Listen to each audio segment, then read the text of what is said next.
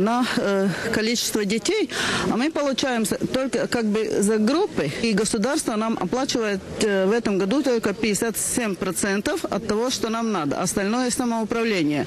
А самоуправление где может, а где и не может. Для сравнения, общеобразовательной школе один ученик обходится в 670 латов в год, музыкальной школе 335 латов, а спортивная может на него потратить лишь 114 латов. Однако многие депутаты даже сегодня, в день первого чтения бюджета, были не в курсе, чего хотела эта толпа взволнованных людей и старались стороной обойти пикетчиков. Я пока еще ничего не думаю, я не знаю, по какому вопросу этот пакет. А ведь еще весной Совет директоров спортивных школ направил депутатам Сейма письмо с изложением своих требований, которое парламентская подкомиссия по вопросам спорта перенаправила затем в правительство. Безусловно, с требованиями Совета директоров знаком и Национальный совет по спорту, который возглавляет господин Домбровский.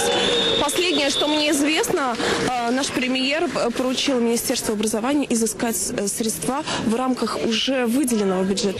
Дошли пикетчики и до Минобразования, громко вызывая подряд то министра, то госсекретаря, то главу департамента спорта. Министр пригласил митингующих обсудить ситуацию. Однако итог переговоров не слишком обрадовал митингующих. В перспективе удовлетворить требования тренеров по государственному финансированию в размере 80% удастся предположительно в 2014 году.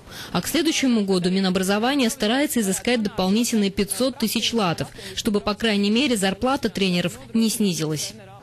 Участникам пикета ничего не остается, как рассчитывать на здравомыслие политиков, иначе кто тогда поедет на будущие Олимпийские игры отстаивать честь страны? Татьяна Коваленко, Айнер Скрауклис, Первый Балтийский канал.